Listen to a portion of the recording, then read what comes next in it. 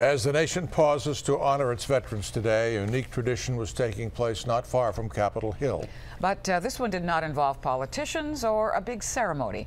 Instead, it brought together generations of those who served to enjoy each other's company. Our D.C. Bureau Chief Sam Ford was there. At American Legion Post 8, yes, the eighth oldest in America, Veterans Day is extra special.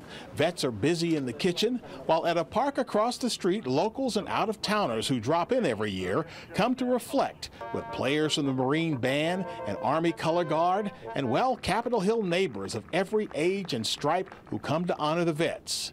Don't become disconnected from the citizens, is what the main speaker told them.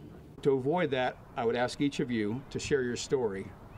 Share your story with your friends. And there were lots of stories. The Vietnam vets from Monroe, Michigan, who come to D.C. every year. It's a feeling you can't buy.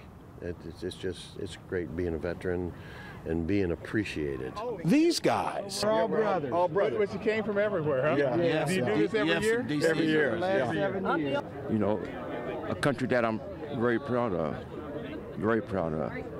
They remember the wars in which they served, salute the flag, sing the patriotic songs, and then they line up at post 8 because it is time to eat and these folks can cook.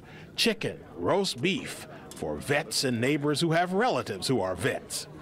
Air Force, mm-hmm. like my aunt and my uncle. And the vets here from the Afghanistan to the Korean War love this. I appreciate that fact, which is good, that we're finally being recognized. So there were many grand ceremonies in this country today commemorating Veterans Day and an intimate ceremony here at Post 8, which, by the way, is celebrating its 91st year this year. Reporting from Southeast Washington, Sam Ford, ABC 7 News.